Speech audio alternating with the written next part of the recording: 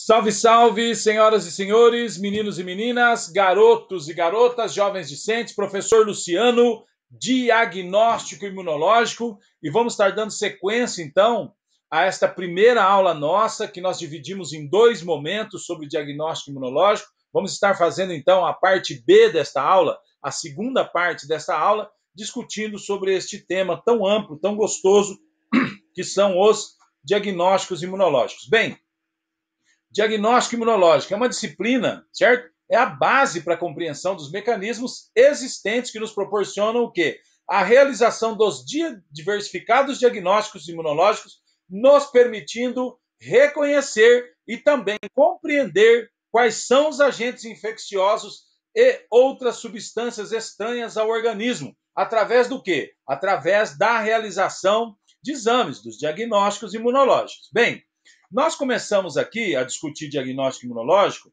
e junto nós colocamos o que? Alguns conceitos sobre a patologia, certo? Porque acabamos de dizer, nós vamos fazer, nós vamos compreender, reconhecer agentes infecciosos. Então nós precisamos de alguns conceitos básicos da patologia. O que é a patologia? A patologia ela estuda o quê? As enfermidades, as doenças. Ela estuda os processos que envolvem alterações bioquímicas, é, estruturais, funcionais, imunológicas também, né? Em nível de célula, tecido ou órgão, que estão relacionados com o desenvolvimento de uma doença, tá? Então, a patologia como um todo, então nós estamos discutindo diagnóstico imunológico, estamos buscando entender, compreender algumas definições da patologia e acabamos de ver a definição, uma, uma definição simples, mas é, satisfatória, creio eu, da patologia. E também devemos entender o quê? As divisões de uma patologia, as fases de uma patologia. É, a etiologia, ou basicamente o agente etiológico, a patogenia, as alterações morfológicas e desordens funcionais e as manifestações clínicas. Então, basicamente, quando eu faço um exame eh, de diagnóstico imunológico, eu procuro fazer um diagnóstico imunológico, eu estou tentando agir basicamente naqueles dois itens iniciais. Ou eu estou tentando fazer o quê? Eliminar o agente etiológico, certo? A etiologia, ou estou tentando destruir a patogenia, interferir na patogenia, interferir na fisiopatologia. Dados esses, esses, dados esses, esses conceitos iniciais, eu gostaria de dar sequência com os senhores, então, a essas as nossas discussões, as nossas é, ponderações sobre o diagnóstico imunológico, é, seguindo, então, estudando um pouquinho da história da patologia. Nós tivemos algumas fases que, que envolvem a patologia como um todo. Nós tivemos a fase moral. O mecanismo é, está na, na Idade Antiga, Idade Média, o mecanismo de origem das doenças era explicado nessa fase pelo quê? Pelo desequilíbrio de humores. Os humores eram considerados líquidos do corpo, em particular água, sangue e linfa. Então, os deuses tinham o poder de controlar esse, esse desequilíbrio. Então, é, é, se entendia que você tinha uma doença, uma enfermidade, por esse desajuste de você e de, do seu Deus, do seu modo de pensar aí, de viver com o seu Deus, tá? Então é um desajuste. Depois nós tivemos a fase orgânica, século XV XVI, as patologias eram entendidas o quê? Nessa época, ao predomínio da observação dos órgãos do corpo, feito principalmente às custas das atividades da necrópsia. Então já começou a avançar, já começou a se fazer é, a avaliação do corpo humano como um todo. Depois nós tivemos a fase, não, não de órgãos, mas a fase tecidual, certo? É um novo momento. A fase tecidual enfatiza a estrutura e a organização dos tecidos. Então nós vamos avançando a nível microscópico. O que é que você vai fazendo? você vai avançando em detalhes, você vai conseguindo observar mais detalhes. Saímos então dessa fase humoral, de algo mais místico, avançamos para a fase orgânica, avançamos para a fase tecidual e, num próximo passo, avançamos para a fase celular, com o predomínio da visão morfológica, somada à aplicação do microscópio óptico. Então, nós começamos lá discutindo que era um desarranjo entre você e Deus, depois a fase de órgãos, a fase de tecidos, e depois já avançamos para a fase celular. Essas são as fases que acompanharam o quê? Que acompanharam o desenvolvimento da visão da patologia. E dentro desse contexto nos permitem fazer o quê? Diagnósticos imunológicos, diagnósticos mais precisos, avançar. E a última fase, essa do século XX, né, que nós estamos passando ainda, a fase ultracelular, é a fase atual do pensamento conceitual sobre a patologia, que envolve conceitos sobre a biologia molecular e sobre as organelas celulares, tá? Então nós estamos é, viemos avançando, certo? Ficando mais minuciosos, mais detalhistas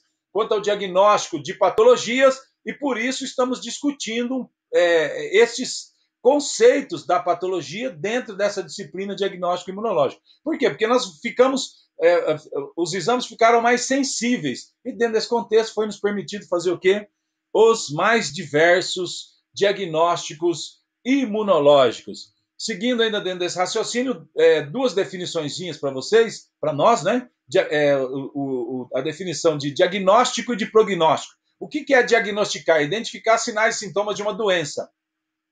O que, que é um prognóstico? Não diagnóstico, um prognóstico. É uma previsão baseada em conhecimento técnico científico de uma doença. Às vezes você, o médico diz para você, ah, você está com um, um, um, câncer a nível de estômago. A primeira pergunta, doutor, e o que, que vai acontecer? Você pede um prognóstico para ele. É uma previsão, tá?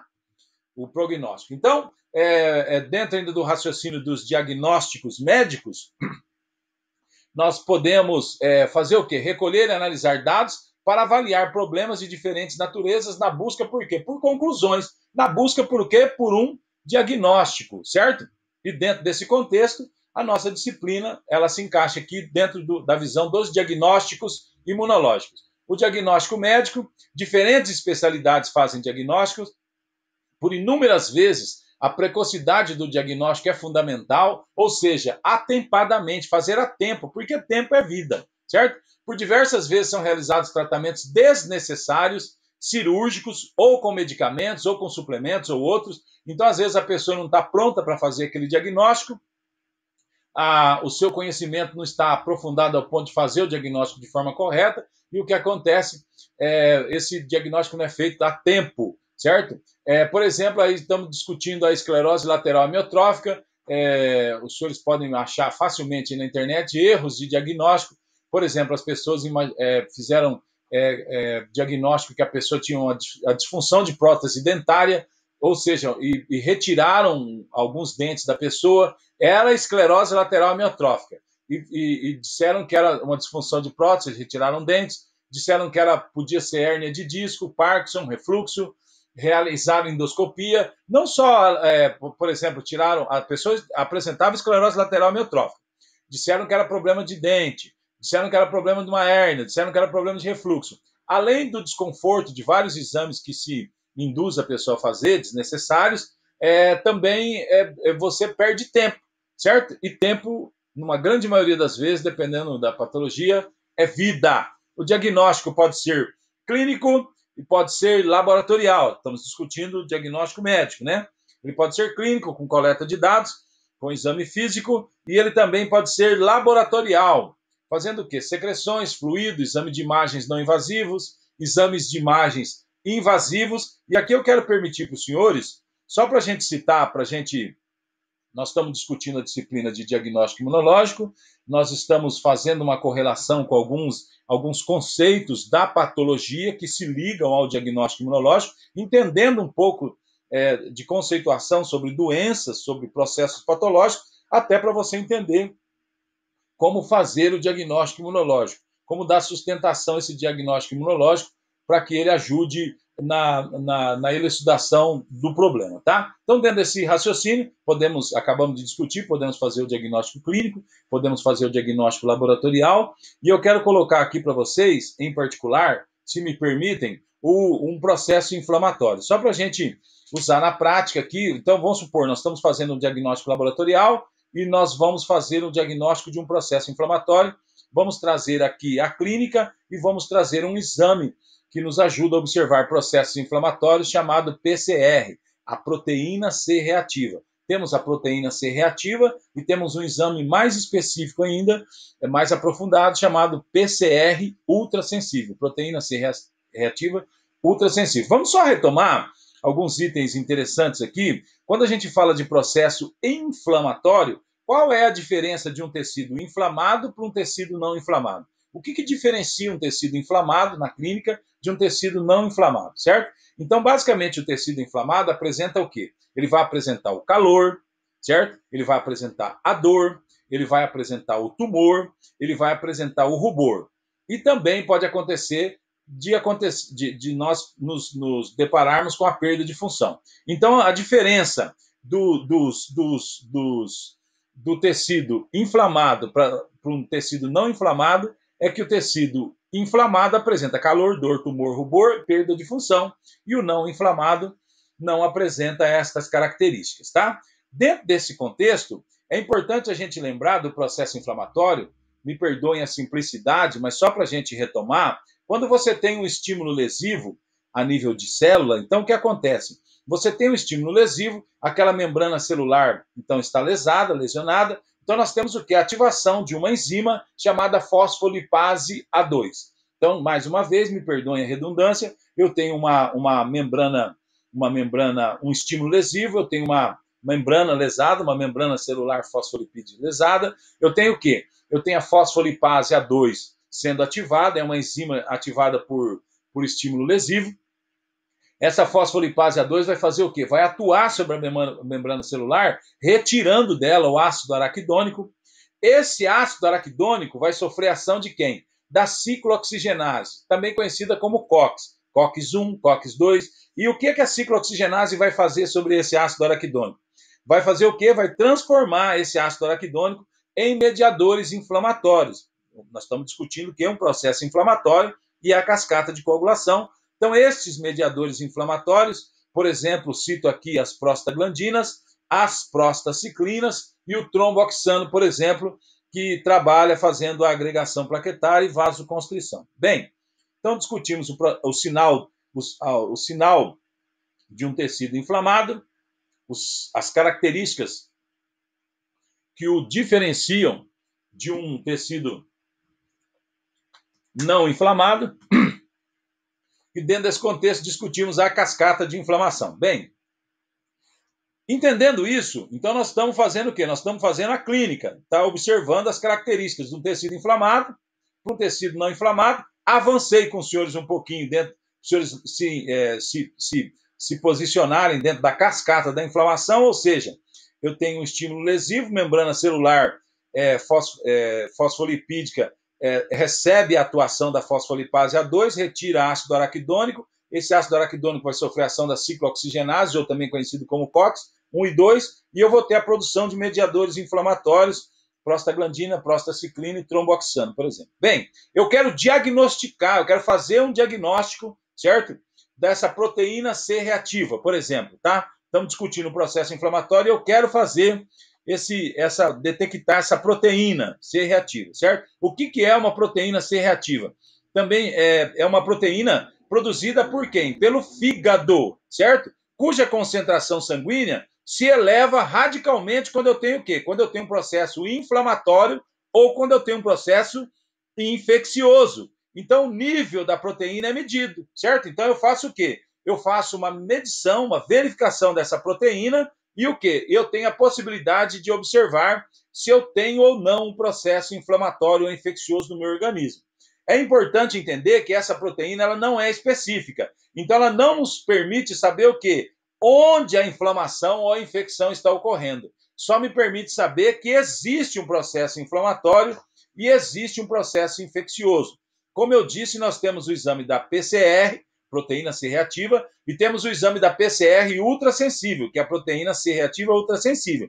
A proteína C reativa ultrassensível, além de nos permitir ver processos inflamatórios e infecciosos, também nos permite ver problemas a nível de, de uh, doença arterial coronariana. Então, ela nos permite avançar dentro desse contexto. Eu gostaria só que os senhores entendessem comigo que essa PCR é realizada a nível de sangue. Então, eu tiro alguns ml de sangue e vou realizar o exame e nós vamos nos aprofundar lá na frente um pouquinho mais sobre isso. Eu só estou discutindo aqui diagnóstico imunológico, ou seja, nós estamos discutindo a disciplina que nos permite reconhecer e compreender quais são os agentes infecciosos e outras substâncias estranhas ao nosso organismo através da realização de exames, certo?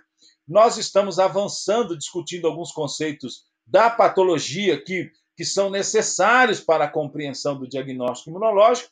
Parei um pouquinho aqui, pedi licença a vocês. Quando nós estamos discutindo sobre diagnóstico, podemos fazer ele clínico, podemos fazer ele laboratorial, e eu discuti aqui, por exemplo, juntei a clínica e o laboratório, características de um tecido inflamado, de um tecido não inflamado, discuti com vocês rapidamente a cascata da inflamação e discuti um exame chamado proteína C reativa. Vem comigo aqui na tela. Então, quando a gente está falando de prognóstico, são utilizados modelos estatísticos e matemáticos aplicados a grandes grupos e, diante disso, é realizada uma suposição sobre o processo e resultados futuros. Então, é, você pode passar para a pessoa uma, um, um, posicionamento do que provavelmente vai acontecer dentro da visão do prognóstico, fatores que influenciam o prognóstico, conhecimento médico, então a pessoa tem que entender daquela patologia, condições do local de tratamento, ou seja, tem tecnologia onde você vai fazer o tratamento? Sim. Você tem condições de fazer esse tratamento? Sim. Isso vai influenciar positivamente no prognóstico. Recursos disponíveis para o tratamento, se é particular, se é um convênio, se é SUS, né? Então isso é importante. Não estou dizendo bem de um ou mal de outro, mas é importante você ter recursos financeiros também. Isso vai ajudar no seu prognóstico, dependendo da patologia.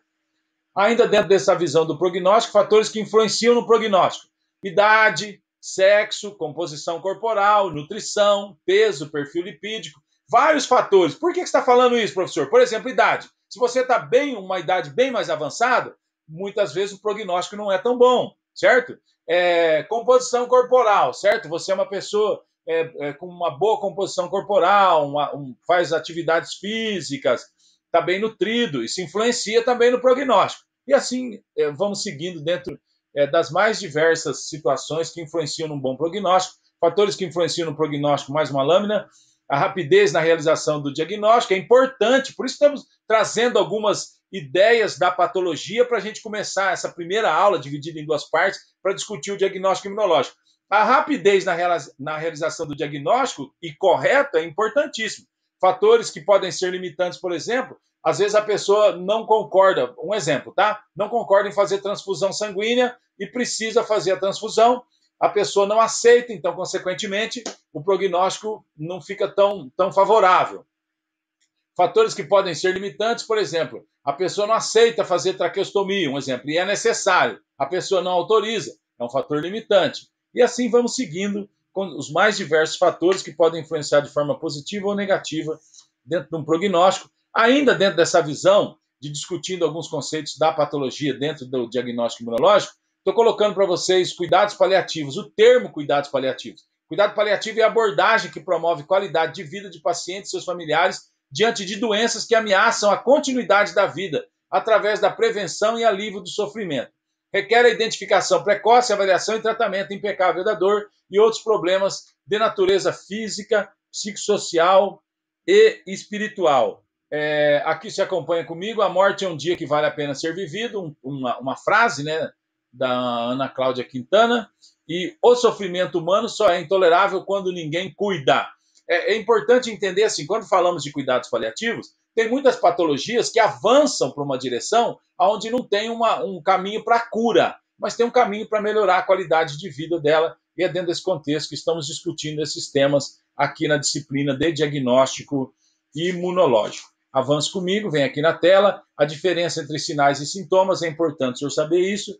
Quais, o que são sinais? Qualquer manifestação que possa ser percebida pelos sentidos do observador ou detectada por aparelho. Por exemplo, uma febre, eu posso colocar um termômetro e verificar, certo? Uma hipertensão, eu posso colocar um aparelho de pressão ali, um estetosfigma, usando o estetosfigma, e, e verificar uma pressão arterial. Isso é sinal. Sintoma, manifestação subjetiva. Ou seja, depende do relato do paciente para que o observador tome conhecimento. Por exemplo, ele fala: estou com uma sensação de ardência, de desconforto, de prurido de dor. Isso é um sintoma, é subjetivo, você não tem como medir a princípio, né? Apesar que tem escalas para tentar dar um parâmetro para dor, mas é, a princípio seria, a gente entenderia essa, essa, essa a dor como um, é, classificada como sintoma.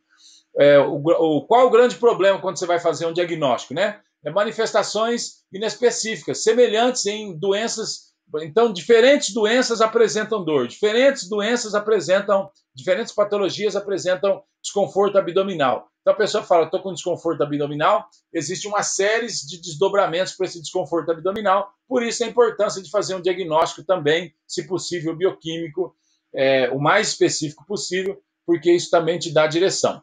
Qual, qual a causa das doenças? As causas das doenças, tá? É uma causa ou vários. Então, às vezes, uma doença, você está com um problema, teve um derrame, um acidente vascular cerebral. E esse derrame não veio por um único fator. A pessoa, por exemplo, é hipertensa, a pessoa é diabética, a pessoa tem uma alteração no perfil lipídico, por exemplo, tem um colesterol alterado. Então, são várias causas para que tenha acontecido essa, essa, essa patologia, o acidente vascular cerebral, por exemplo, certo? Às vezes é desconhecida a causa e às vezes não tem uma única causa, a abordagem é múltipla, né? Só trazendo para vocês aqui o conceito de saúde e doença. Quando a gente fala de saúde e doença, é, saúde não é ausência de doença, tá? E doença não é a falta ou perturbação de saúde, certo? A saúde é, é algo bem mais complexo, é um completo estado de bem-estar físico, mental e social, não meramente ausência de doença, certo? Então, é importante estarmos dentro de, é, de posse dessa informação. Quando falamos de saúde, nós estamos falando do quê? De saúde social, física, emocional, intelectual, espiritual. Então, saúde social, é você interagir com as microsociedades que você ali, é, é, às vezes numa igreja, num clube de campo, né? Física, o autocuidado, nutrição, uma atividade física, emocional, espiritual, intelectual. Então, tem vários, várias vertentes para que você possa dizer eu tenho saúde, tá? A doença é uma alteração de forma e de função não compensada de uma célula, de um órgão ou de um sistema de um indivíduo, de uma população e finalmente de uma sociedade. Aqui uma foto para a gente refletir as diferentes condições sociais no mundo. Ainda existe uma grande concentração de renda no mundo, muita gente com nada, com muito pouco, e pouca gente com muito, tá? E uma reflexão para a gente estar tá encerrando a aula, por que tratar as pessoas e depois enviá-las novamente para as mesmas condições de vida que as fizeram adoecer. Ela está numa condição de vida, vem, a gente procura tratá-la e depois nós devolvemos ela lá para aquele mesmo local onde ela, ela adoeceu e é uma tendência muito grande dela fazer o quê? Dela adoecer novamente. Bem, eu quero agradecer a você, muito obrigado e até mais.